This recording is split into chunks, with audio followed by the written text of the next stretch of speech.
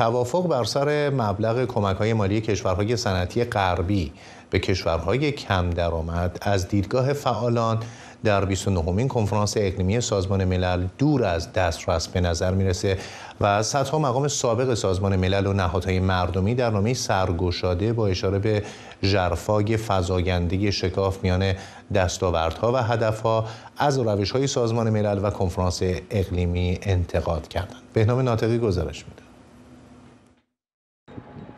کنفرانس های اقلیمی را سازمان ملل برای اجرای تعهدهای پیمان اقلیمی پاریس از جمله حذف سوختهای فسیلی برگزار می کند. میزبان 29 مین اجلاس کشور آذربایجان است که یکی از پرسابقه ترین تولید کنندگان نفت و گاز در جهان است و حضور بیش از 1700 لابیگر که موضع تولید کنندگان سوختهای فسیلی را نمایندگی می کردند با انتقاد فعالان روبرو شد که کفه را به سود سوختهای فسیلی سنگین یافتند. اما فرستاده دولت بایدن به کنفرانس اقلیمی باکو چشمانداز امیدوار کننده ای ترسیم کرد.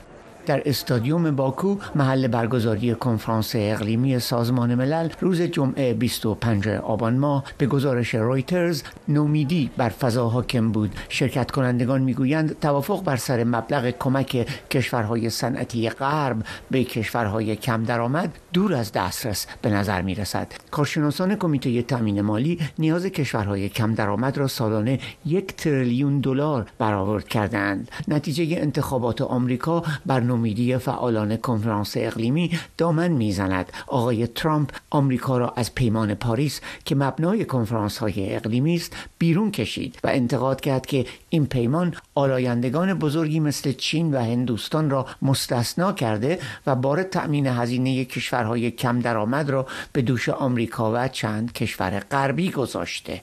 Our message is that regardless of who is actually occupying the White House, پیام ما این است که قطع نظر از آنکه چه کسی در کاخ سفید باشد این انتقال انجام می‌گیرد و وقت آن است که خلایی که رهبری آمریکا ممکن است ایجاد کند را دیگران پر کنند. ولی به راستی این انتقال از سوختهای فسیلی دارد رخ می‌دهد و بازگشت مطرح نیست.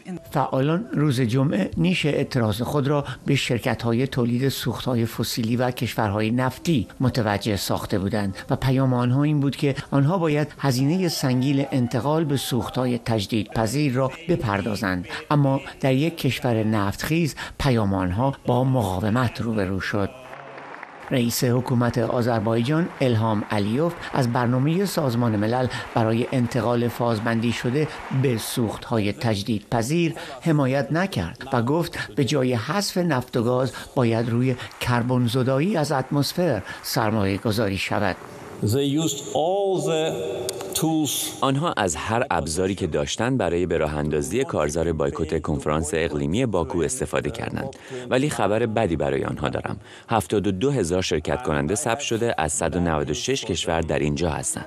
در آذربایجان تظاهرات و اعتراض در خیابانها سرکوب می شود اما به فعالان محیط زیست برای برگزاری تظاهرات علیه شرکت های نفتی و تولید کنندگان سوخت های فسیلی در داخل کنفرانس جا داده شده بود. یک گروه از مقامات سابق سازمان ملل و کارشناسان محیط زیست و گرمایش زمین در نامه سرگشاده روز جمعه 25 آبان در باکو اعلام کردند که روش کنفرانس های اقلیمی سازمان ملل را با اهداف آن هماهنگ نمی‌دانند و اصلاحات اساسی در سازوکار اقلیمی سازمان ملل را خواستار شدند. رویترز می نویسد تا کنون در تلاش برای تامین مالی انتقال به سوختهای تجدید پذیر پیشرفتی صورت نگرفته. 20 کارشناس و مقام سابق از جمله کریستینا فیگورس رئیس سابق نهاد اقلیمی سازمان ملل و بان کی‌مون دبیرکل سابق سازمان ملل و ماری رابینسون رئیس جمهوری سابق ایرلند در این نامه سرگشاده یادآور شدند که هرچند توفیقهایی به دست آمده ولی به تجدید نظر کلی نیاز است.